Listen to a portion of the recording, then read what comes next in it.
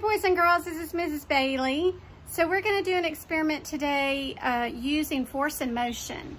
So we're gonna create a homemade pendulum and we're gonna hang it from my garage door and see what happens. We're gonna see what kind of um, art I can create by pushing uh, my cup in a certain direction. It's gonna have a hole in the bottom of it and it's gonna be full of milk and the milk is colored and so we're gonna create art on the carport and see what happens when I push with a certain force, what does it do to the art or the stream of milk that's coming out?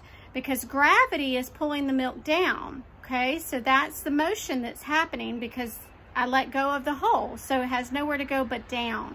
So let's see what happens. So we've already talked about we're about to do an art project using force and motion by building our own pendulum. So with force and motion, we can have all different kinds. We can have up and down movement. We can have bouncing and gravity. We can have things that are repelled, things that are slow, things that are fast. All those things affect our force and motion. So there's types of motion we can generate with our pendulum. We can do a back and forth and up and down and around and round. So there's a lot of different things we can do when we're pushing our pendulum to create different lines that we want to make on the ground. So look at let's look at some images that help explain what forces and motion are. We can see that there's a lot of different types of forces and a lot of different patterns that we can create in motion. Force can be any type of a push or a pull that we might generate. There are different types of forces. There's contact forces and non-contact forces. Things can affect the motion of an object by how strong we might push with the force. So when you're using your pendulum, if you push it really hard, you're going to have a bigger circle or a bigger arc. If you push it really lightly, it's going to make a smaller circle or smaller arc. See if you can make your pendulum move in a zigzag and in a circle, up and down. Try experimenting with how you move it around.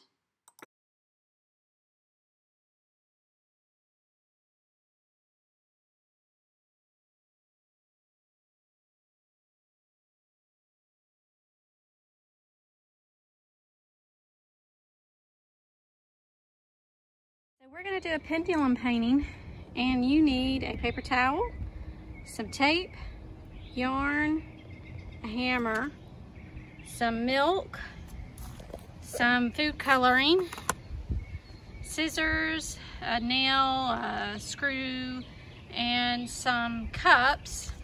And somewhere you can be a little bit messy. And I'm going to do mine over my garage door so I can use my hose pipe to rinse the mess that I make. Okay, so let's get set up. Okay, so we're gonna start by testing a few holes in the bottom of our cup. Try and do this without tearing my cup up. Now that one's not working. Let's try the smaller one.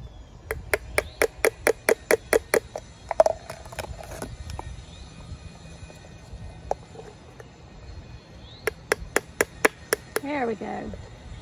And you can take it and kind of roll it around to make your hole bigger. Like that. So now you have a good hole in your cup. Now this one, I got a hole started and then just stuck my scissors in to make it bigger. Bigger hole in this particular cup and a really small tiny hole to test which one I like better. So now I've got to get them strung up and um, get some holes in the side and some tape and tape my yarn to it. So now you're going to take some yarn or string and tie it on each side of your cup so you have string hanging from either side for balance, and then take tape and wrap the tape around to hold the string in place.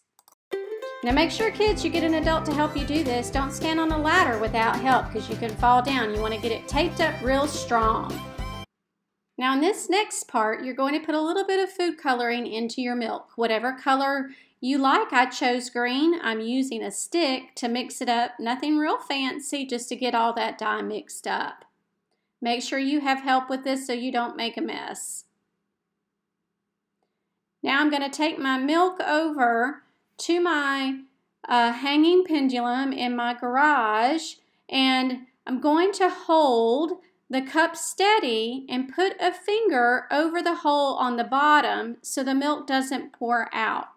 So here goes nothing.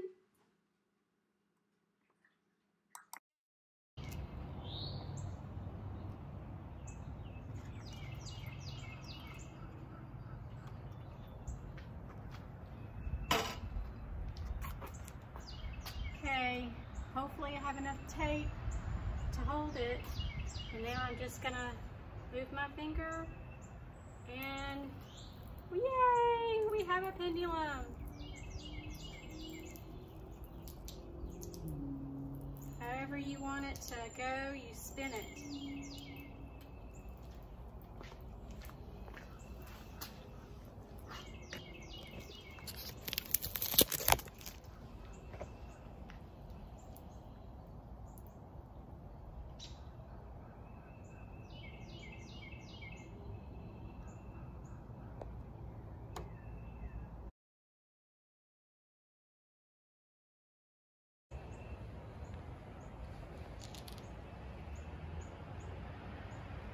Let's try that again. We'll rinse and do it again.